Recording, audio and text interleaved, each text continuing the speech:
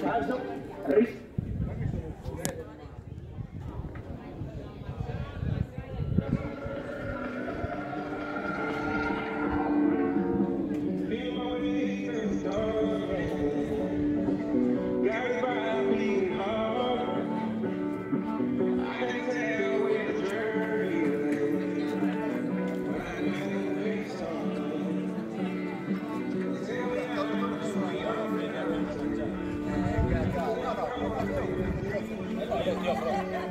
Thank you.